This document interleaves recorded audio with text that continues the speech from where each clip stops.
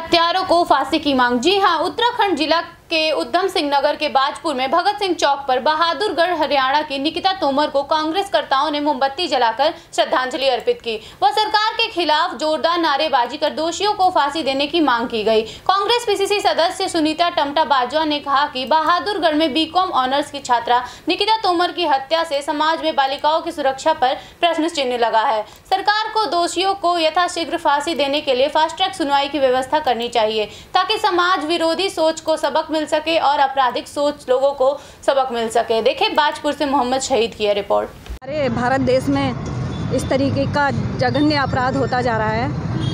आज हम हमने निकिता को श्रद्धांजलि देते हुए सरकार से हमारी मांग है कि जल्द से जल्द उन हत्यारों को फांसी दी जाए।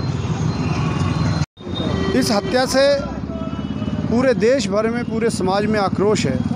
और बेटियों की सुरक्षा पर प्रश्न चिन्ह है कि हम, हमारी बेटियाँ, हमारी बहनें स्कूलों में भी सुरक्षित नहीं हैं, स्कूलों के गेट पर भी सुरक्षित नहीं हैं। तो ये हम सब के लिए, समाज के लिए और सरकार के लिए बड़ा चिंतनीय विषय है। आज निकिता तोमर को श्रद्धांजलि देते हुए सभी कार्यकर्ताओं ने ये मांग की है भारत की सरकार से कि आप फास्ट ट्रैक कोर्ट बना करके दोषियों को यथाशीघ्र फांसी की सज़ा दी जाए, जिससे कि ऐसी सोच रखने वाले, ऐसी आपराधिक सोच रखने वाले जो लोग हैं, उनको सबक मिल सके और ऐसी घटनाओं पर अंकुश लग सके।